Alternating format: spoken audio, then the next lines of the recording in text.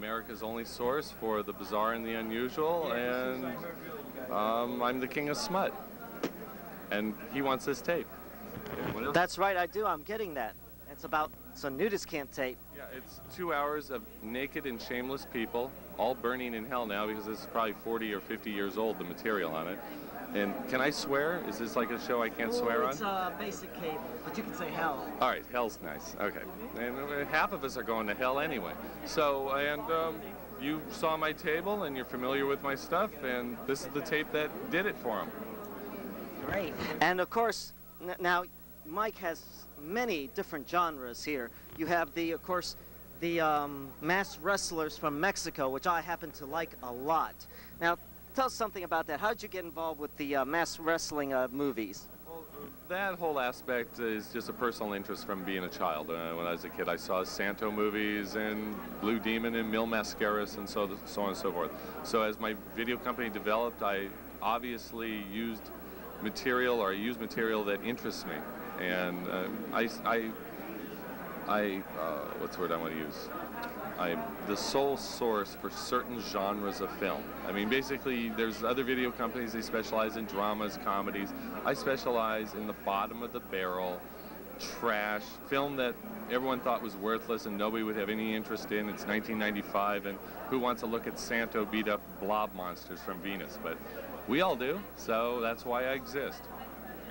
Absolutely, and as we all know, the uh, 60s aren't dead. They live at Something Weird Video, or coexist anyway, with other eras. Now, let's come over here and look at some of these great stuff. Pick out something here, Mike, that you would recommend to somebody that's a novelist and wants to get into weird films. What would you recommend?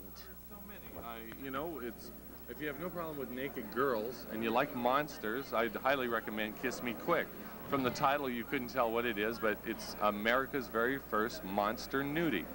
Which has Frankenstein, Dracula, and the Mummy, and a dozen or so naked chicks. Can't lose. May I say that you, I ordered it from you and I have that in my collection. I'm very happy with it. Man with good taste.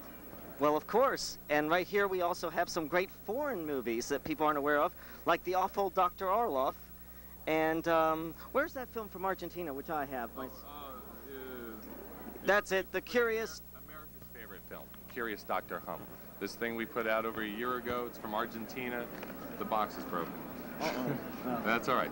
But this came out from, I tell you, high quality product here. Uh,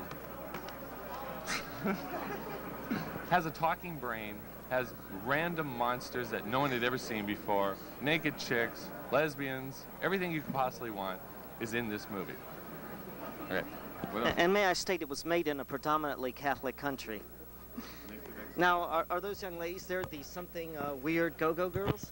Well, um, one is Jungle Girl. She's a regular fixture at our show here in Jersey. Great. Oops. And the other is Lisa, who's one of the, uh, uh, she's basically the art department of Something Weird Video. Great. Great, and now let's look at your fine collection of t-shirts. These t-shirts are for obviously people who wish to be individuals, and they want to stand out, am I correct? Yes. Um, these shirts are basically designed to please and to please and to offend virtually everybody. So, particularly parents. So, and it, it's what the best example is warning. Show them warning. Get the camera on the warning. Zoom into that. Read it. Oh, and it's that's up here. also. Have your attention, please. that's it. Oh, Dealer rooms will be closing in 10 minutes. Folks, dealer rooms will be closing in 10 that warning minutes. shirt's the perfect example of an offensive shirt. A giant red warning. Uh, uh, you, you start reading it, and by the time you're down to the word masturbation, you're so offended by the shirt you can't even look at the guy in the face who has the shirt on. So it's a perfect shirt for something.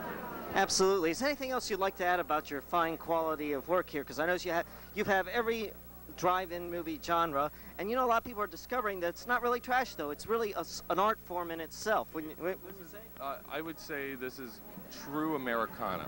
I mean, what we're looking at here is um, a lot of movies made with a lot of labor and love and uh, uh, extremely uh, low budgets. And these men were up against a million odds. The, uh, the law was always on their tail for what they were making. And, and this stuff is the epitome of America in the 50s, 60s, and early 70s.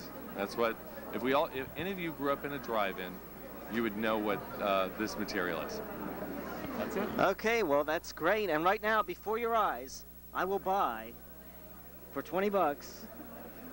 That's right, I'm buying this tape. And I don't care who knows it. Called Nudes, Nudists, and Nudism. And here we go. There goes my hard earned 20 bucks. And this is mine now. That's right. And I'm pretty shameless myself. so this is uh, Fanboy. And I'm signing off for now, but we'll be back with